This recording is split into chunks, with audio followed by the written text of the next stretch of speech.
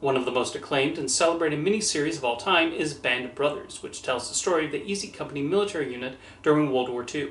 Based on the book by Stephen Ambrose, it caught the attention of Tom Hanks and Steven Spielberg, who decided their story should be told on the screen. They then brought on board writer Erik Jendresen to help develop the series, along with several other writers who were given the task of adapting the book over 10 episodes. HBO had a lot of confidence in Band of Brothers, giving a $125 million budget, a massive sum for television production in 2001. So, what makes this historical drama so compelling? Through its 10 episodes, Band of Brothers succeeds in depicting the soldiers in Easy Company and the obstacles they face. We see them through boot camp and on the battlefields and into the final stretches of the war in Europe. And in that time, we truly do get to know them.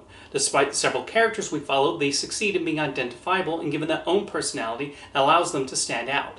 The central figure in the series is Major Richard Winters, played by Damian Lewis. Throughout the story, we see him take command of his unit and try to lead them to the best of his ability. His friendship with Captain Lewis Nixon, played by Ron Livingston, is nicely shown with several scenes where we see them working together as they make their way through Europe. The other soldiers in Easy Company also become well portrayed by the various actors, with Scott Grimes, Donnie Wahlberg, Neal McDonough, and Dexter Fletcher among the notable names with significant roles.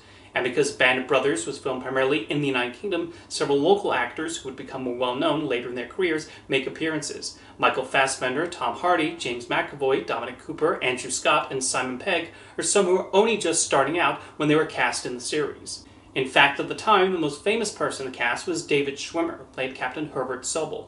While he seems like a surprising choice to portray a tough training officer widely disliked by the other soldiers, Schwimmer does a really good job of making you dislike Sobel as much as the men do, although the fairness of his portrayal in Band of Brothers has been called into question.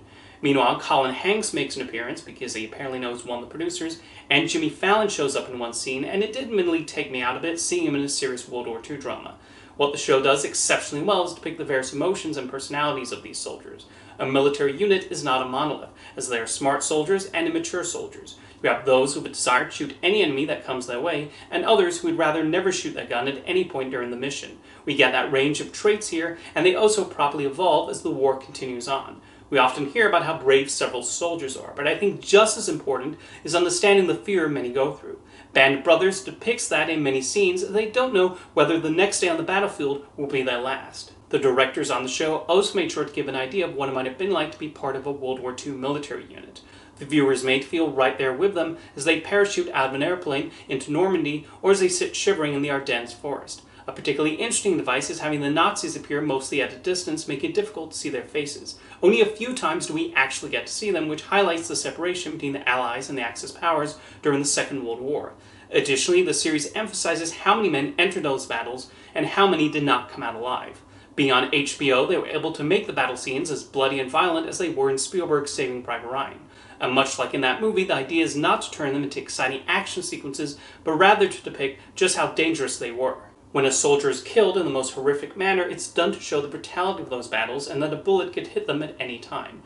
Band Brothers recreates some famous battles, most notably the Battle of the Bulge, and highlights how these soldiers had to think quick on their feet as they faced off against the Nazis. The scenes in between the battles of the soldiers just having conversations also work. They feel natural and the friendships are believable along with the disagreements they have with each other.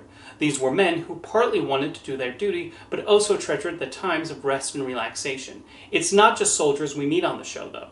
There's an episode where a combat medic befriends a Belgian nurse, and we see the effect this has on him. The casualness of those conversations highlights even more the violence of this war.